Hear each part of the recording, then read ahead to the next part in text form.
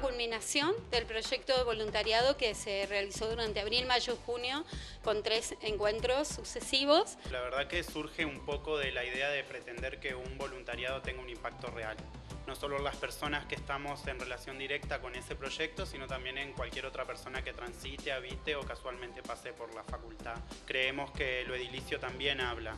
Eh, nosotras entendemos que hay una construcción de la universidad, una construcción de un conocimiento que siempre pretende ser heterosexual y binario y que también el edificio es así. Entonces decíamos, bueno, ¿cómo recuperar esas historias que travestis y trans nos contaron acerca de la incomodidad que les generaba entrar a un baño en el que no se sentían representados y representadas o la incomodidad que sentían al entrar a un baño en el que ellas se sentían cómodas pero la gente les señalaba que se tenían que ir de ahí.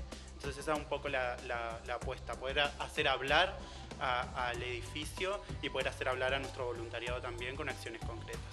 El lugar más cercano que, en que se ha hecho esta propuesta es en la Universidad de Rosario, después todas las otras universidades de Buenos Aires y en eh, Mendoza. En la región acá es, en la universidad, bueno, es la primera experiencia, en las universidades Entre Ríos la primera experiencia y en la región también. Estamos en algún punto sentando precedentes.